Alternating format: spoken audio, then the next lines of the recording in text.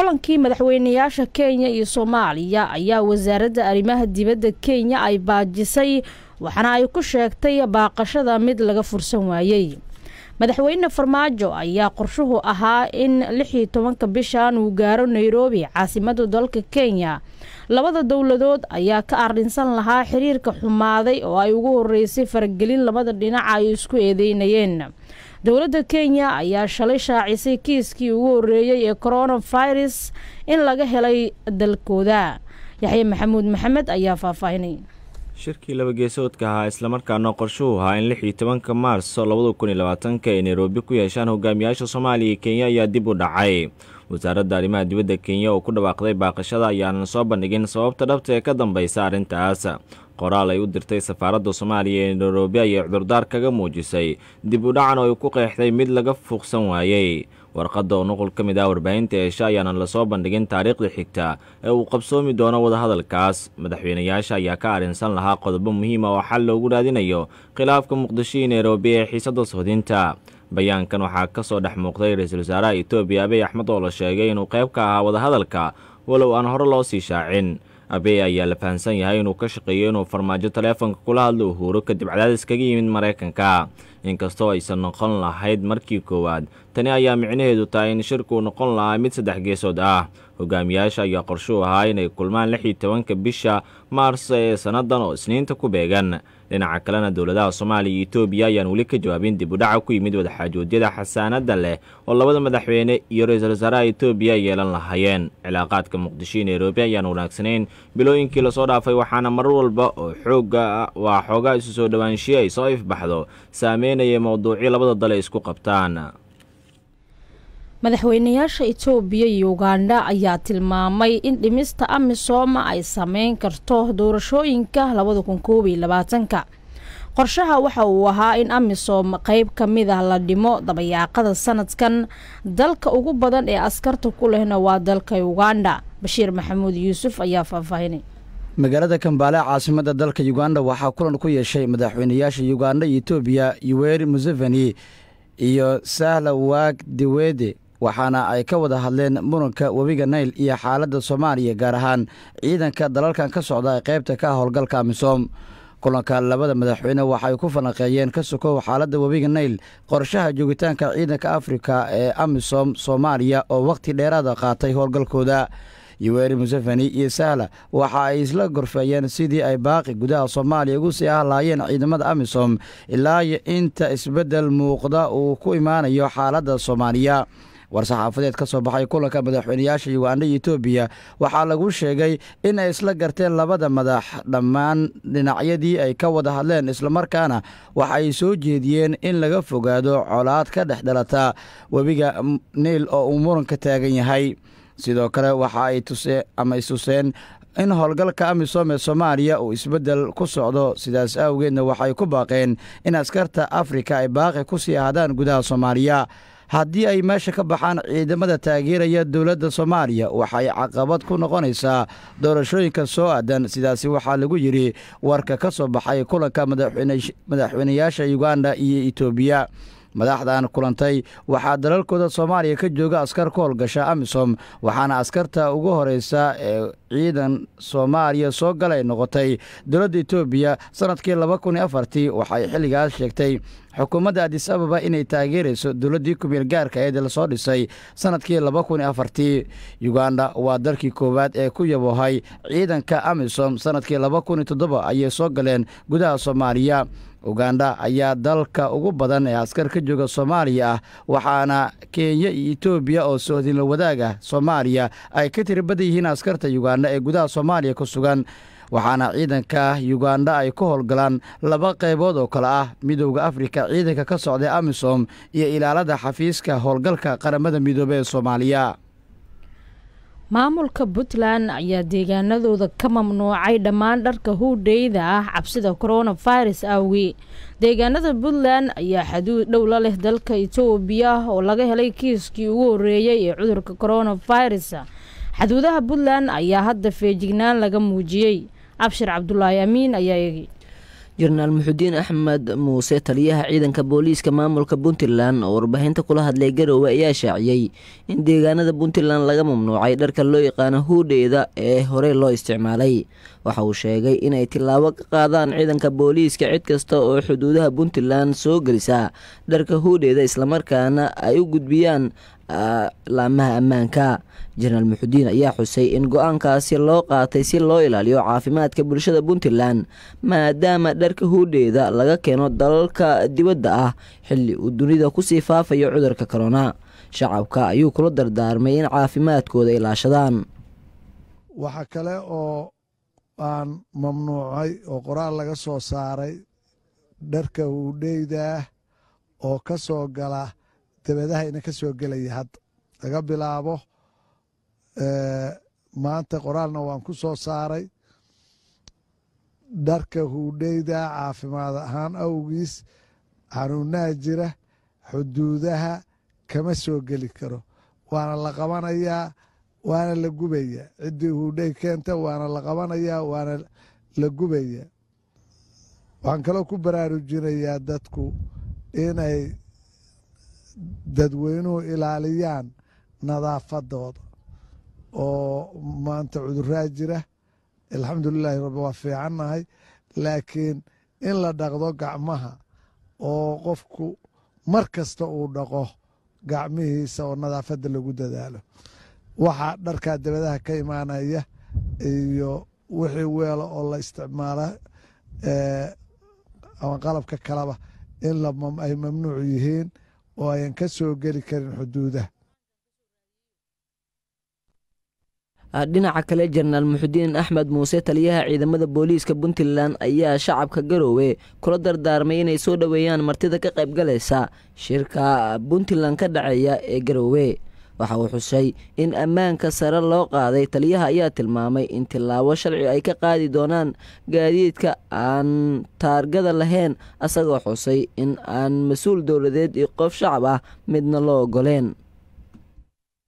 Dadkuna waa inay dhammaan loo diyaar garoobaa shirka.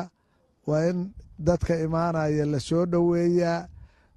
wixii loo arko amni xumana laga wada shaqeeyaa waxaan ka digayaa gaadiidka aan taarikada lahayn. Gaadiidka ama dowladdu ha wadato ama shacab ha wato gaadiidka aan taarikada lahayn ciidamadu waxay ku amrayiin in la qabto meel kasta ha ahaate in la qabto qofka uu taariko u soo samaysto. Qof kastoo mas'uulana inuu gaarigiisa taariko u samaysto. Taarika la'aan waa mamnuuc kiiskii ugu horreeya ee korona ayaa laga helay dalalka itoobiya iyo kenya waxaana taasi ay keentay in feenjignaan laga muujiyo xuduudaha iyo garoomada dalka.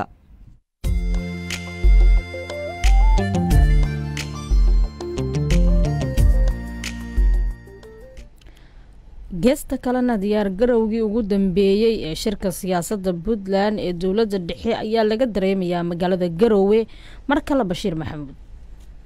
magaalada garoobe xarunta dowlad goboleedka puntland wararka ka imaanaya waxay sheegayaan in ammaanka magaaladaasi sare loo qaaday xilli maalinta beri oo ku beegan shan iyo tobanka bisha maaj lagu balansan yahay in lagu qabto shirweynaha siyaasadeed ee uu iclaamiyey siciid cabdulaahi deni madaxweynaha dowlad goboleedka puntland xubnaha garoobe jooga. Waxaa ka mid ah cabdiraxmaan maxamed maxamuud faroole iyo cabdiweli maxamed cali gaas oo labaduba xilka madaxweynaha puntland kaga horeeyey siciid cabdulaahi deni sidoo kale waxaa magaalada garoobe saacadihii la soo dhaafay tegey xildhibaano iyo wasiiro ka tirsan xukuumadda soomaaliya oo deegaan doorashadoodu tahay puntland. Siyaasiyiin xubno xilal kala duwan ka soo qabtay dowladihii dalka soo maray iyo puntland.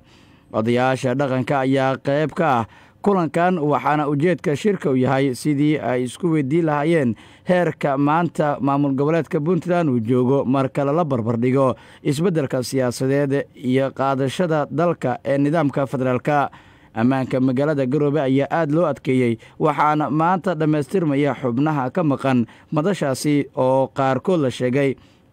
in dalka dibaddiisa ay ka tegayaan taliyaha ciidanka booliiska gobolka nugaal ayaa ciidanka amray inay adkeeyaan ammaanka waxaana ciidamada durbe ay bilaabeen in ay baro kontarool oo cusub ka samaystaan gudaha magaalada garoobe halka gaadiidka loo diiday waddooyinka qaar wasiirka arrimaha dibadda xukuumadda soomaaliya danjire axmed ciise cawad oo ka mid ah mas'uuliyiinta ka qaybgalaysa shirka garoobe la filayo in beri uu ka furmo waxa uu bogaadiye kulanka isagoo rajo wanaagsan ka muujiyey in laga gungaaro sababta fadhiga loo qabtay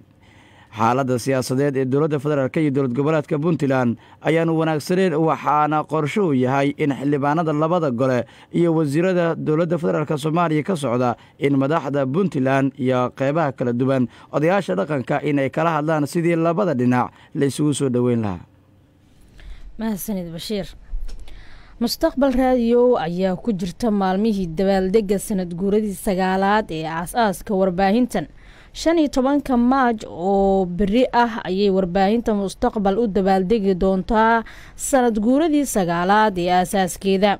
warbaahinta mustaqbal oo hadda qeybo kala duwan ah sida raadiyo mustaqbal muuqaal iyo online website ayaa waxaa soo bandhigtaa barnaamijyo iyo sidoo kale warbixino dadka ay ku jecel yihiin idaacadda axmed ciise guutaale oo ah guddoomiyaha mustaqbal ayaa farxadda la qeybsaday dadka ku xiran warbaahinta. Marka hore waxaan rabaa dhammaan dadka daawada kuwa akhrista iyo kuwa dhegeystaba inaan ilaaha balyo sagaal sano waa waa xil fiican waa waqti fiican. Sagaal gu qofku markuu gaaro waxaa laga filaya inuu adeego shaqeeyo. Marka hore marka waxaan rabaa inaan dhammaan dhegeystayaasheenna daawadayaasheenna akhristayaasheenna oo daafaha adduunka jooga inaan ugu hambaliyeeyo inaan sagaal sano gaarnay oo gugii sagaalaad oo noo soo galay noo dhashay. Taas waa hambalyo warbaahinta iyo macnaheeda iyo waxay ku fadhisa iyo maanta wadanka soomaaliyeed iyo qaranimada soomaaliyeed dib dhiskiisa kaalinta ay ka qaadanayso. Mustaqbal waxay ka ahayd sagaalkii sano la soo dhaafay kaalin fiican oo in wax la dhisa ah oo ah in dadku hadlaan ay ka baxdo cabsida qofku inuusan hadli karin uusan sheegi karin wuxuu qabo iyo wuxuu aaminsan yahay iyo wuxuu ku fakaraayo iyo siduu u arko xaaladaha socda. Markaas horta hambalyo meel kastoo joogtaan adduunka daawadayaasha iyo dhegeystayaasha iyo akhristayaasha oo marka la isku daro la yidhaha rukunka warbaahinta waa dadka ay ku tashato hantida warbaahintu ku tashato ama saxaysa ama macluumaadkeeda qaadanaysa. Marka labaad waxaan rabaa inaan umahad celiyo sagaalkaa sano dad soomaaliyeed oo ganacsi haysta ayaa adeegeenna qaadanaya oo isticmaalayay iyagaa waxay bixinayeen inta badan lacagta ay ku socoto mustaqbal oo adeegooda ayay ku bedelanayeen oo lacagay ku siinayeen. Sidaas awgeed ayagana waxaan rabaa inaan irahdo waa mahadsantihiin meel kastood joogtaan iyo cadadkaad doontaan ama ha yaraado ama ha badnaado ood ku biiriseen ama ku qaadateen adeegga mustaqbal si ay halkan u soo gaarto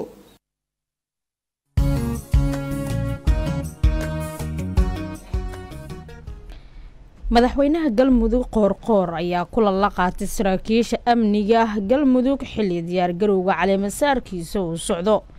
Dhuusamareeb waxaa ka dhici doonto caleemasaarkiisa iyadoo la xasuusta in ay magaaladaasi uu dagaal ku dhex maray ciidamada dowladda iyo kuwa ahlu sunna qoorqoor ayaa doorashadiisa shaki badani laga muujiyey. Mar kale abshir cabdulaahi amiin madaxweynaha dowlad goboleedka galmudug axmed cabdi kaariye qoorqoor ayaa xalay shir guddoomiyey shirka golaha amniga galmudug. Kulankii sideedaad ee shirka golaha amniga waxaa sidoo kale ka qayb galay dhammaan xubnaha golaha waxaana laga dhageystay warbixin ku saabsan qorshahooda dhanka amniga iyo siyaasadda ay gacanta ka siinayaan golaha amniga galmudug. Shirkan ayaa waxaa soo agaasimay agaasimaha xafiiska amniga galmudug shirkan ayaa waxaa looga dooday qodobo aada muhiim ah oo ay ka mid yihiin dardargelinta siyaasadda amniga galmudug fulinta qorsho hooleedka guud ee amniga dalka xoreynta deegaanada ay haystaan al-shabaab kulankan ayaa midkii ugu horeeyey ee dhexmara golaha amniga galmudug ah iyadoo madaxweynaha maamulkaasi qoorqoor dhowaan loo doortay madaxweynaha maamulkaasi halkani waa mustaqbal redio f m. Dhammaan wararkeenna waxa ay leeyihiin muuqaal maqal iyo qoraal. Dhegayso wararkeenna toddobadiyo barka subax weliba labadiyo barka galab weliba iyo toddobadiyo barka habeen weliba. Wararka dalka iyo kuwa caalamka waxaa kaaga filan oo keliya inaad nagala socoto mustaqbal redio f m. Ama aad booqato mustaqbal redio net. Haddii kale ka daawo muuqaaladeenna facebook com mustaqbal media ugu dambeyn ah boqorada dalka ingiriiska elizabeth ayaa baajisay safar ay ku tegi lahayd jisair iyo camden sida lagu sheegay war-saxaafadeed ka soo baxay xarunta boqortooyada u k ee bangingham balas sababta keentay dib u dhaca socdaalka ayaa lagu sheegay feejignaan dheeraad ah oo ku saabsan ka hortaga faafitaanka caabuqa coronavirus go'aanka hakinta booqashada waxaa la tilmaamay in la qaatay kadib talooyin la weydiiyey saraakiisha caafimaadka dowladda iyo kuwa xarumaha. Bayaanka ayaa wuxuu hoosta ka xariiqay in sidoo kale dib u eegis lagu sameyn doono munaasabadaha kale ee lagu casuumay boqoradda sida caadada ahayd daawadayaasha waa lagu soo wargelin doonaa wakhtiga isbeddelka oo ku salaysan hadba sida ay xaaladda faafitaanka cudurka ay noqoto. Ayaa lagu gebagabeeyey war qoraal ah oo ka soo baxay. Elizabeth ayaa qorshuhu ahaa in ay ka qayb gasho munaasabado nikaax ah ama faraantigelis ah lamaanayaal kala duwan oo ka dhici lahaa jiseer iyo camden kuwaasi oo hadda baaqday caabuqan ayaa si safmar ah wuxuu ugu faafayaa caalamka iyadoo uu geysanayo geeri